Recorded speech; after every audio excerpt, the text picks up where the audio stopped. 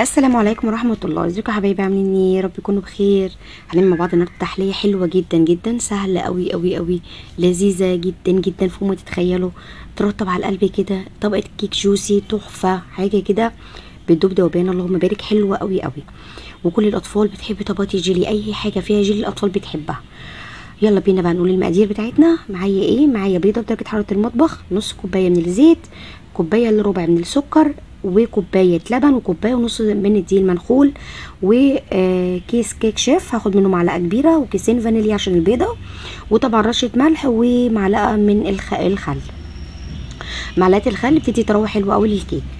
يلا بقى نحط كله على بعضه في البولة. أحط البيض والسكر واللبن والزيت والفانيليا واضربهم كويس جدا جدا. لو عايزه تشتغلي بالمضرب الكهرباء اشتغلي عايزه تحطيهم في الخلاط اشتغلي. بس أنا حبيتها تبقى سهلة كده وسريعة وما استخدمش أي أجهزة ولا حاجة في طبقة الكيك. وضربتهم كويس جدا جدا بال whisk.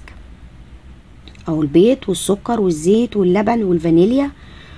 زي ما أنتم شايفين كده وأضرب كويس جدا جدا. حطيت اتنين باكت فانيليا عشان البيضة اللي إحنا حاطينها الكيك ده حلو جدا جدا. كيك يوم اللي هو ينفع للكيك اليومي لو ما حطيتيش عليه طبقات. سهل وبيضة واحدة بس. هتعملي سنيك كيك حلوة جدا جدا لأولادك. قلبته كويس جدا. خلطته قوي لحد ما عمل لي فوم كده. حطيت عليه معلقة من الخل زي ما انت شايفة كده. وهنزل بقى بالمقادير الجافة اللي هي كوباية ونص دي منخول. وهنخله تاني معاكم دلوقتي هتشوفوا واحط معاكي معلقة من ال baking powder أو الكيك شيف ورشة من الملح. بس كده. كده الكيك بتاعنا خلص. أول ما بديت أعمل في الكيك رحت مشغلة الفرن آه على درجة حرارة 180 لو ما عندكيش درجات على الوسط آه ومن غير شواية. بنشغل الفرن بس. يسخن كويس جدا عشان أحط فيه الكيك. هوريكم دلوقتي القوام بتاعه. بعد ما اقلبه كويس جدا مواد الجافة مواد مع المواد السائله دي هتشوفوا القوام بتاع الكيك عامل إزاي. جبت صينية الصينية دي مقاس 24 تقريبا. حطيت فيها دهنة كده من الزيت ورشة من الدقيق بطنتها بيها يعني وهصب مقدار الكيك. ده القوام اللي أنا عايزاه لا أتقل من كده ولا أخف من كده. تمام؟ تمام.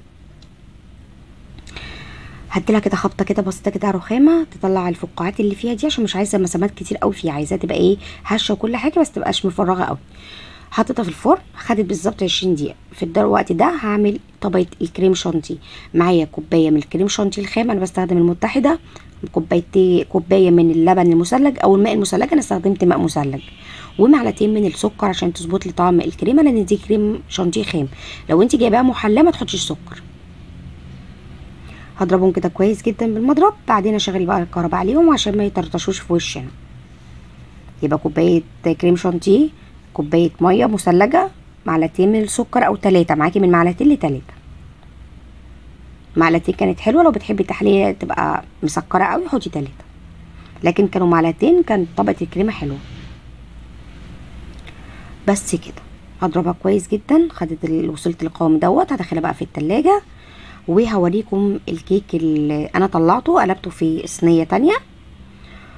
أهو الصينية دي قلبتها فيها عشان تبقى أفتحها تبقى طبقات. بعد كده جبت الطبقة الثالثه اللي هي طبقة الجيلي. حطيت كوباية من المية عليها معلقة من السكر معلقة من النشا كبيرة وكيس جيلي أي نوع تحبيه.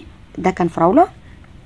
تحبي أناناس تحبي مانجا تحبي تفاح أخضر اللي تحبيه اعمليه. قلبتهم كويس جدا رفعتهم بقى على النار خدوا غلوة وسبتهم بقى يبردوا شوية.